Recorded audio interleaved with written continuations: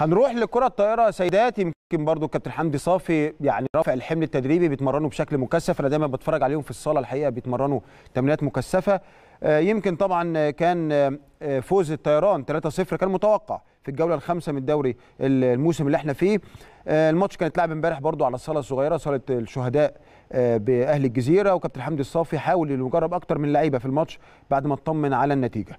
وبالنتيجه دي طبعا الأهلي احتل الصدارة ب 12 نقطة في المجموعة من أربع آه، ماتشات متتالية والحقيقة ده وضع طبيعي جدا للسيدات. ما شاء الله يمكن احتكار لبطولة الدوري العام سنين طويلة آه، ورا بعض آه، فده متوقع إن شاء الله منهم السنة دي يكونوا على شكل كبير جدا من التميز. وخليني أقول إن في ماتش من سبورتنج مؤجل مؤجل من قبل كده لأنه طبعا كان في في سبورتنج إصابات كورونا كتير. الاتحاد فضل إنه يأجل المباراة الحقيقة لسه لغاية دلوقتي ما تحددش ميعادها هتتلعب إمتى.